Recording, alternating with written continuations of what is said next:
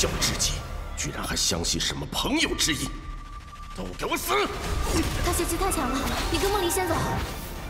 让咱们一起走。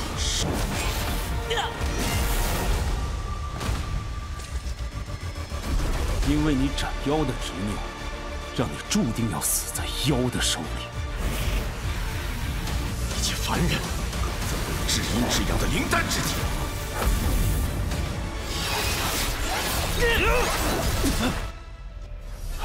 我不敢！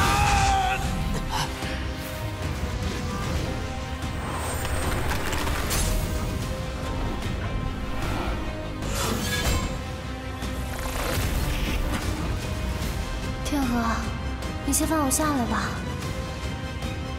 人之将死，元神跟身体便会分离。难道你是我的元神？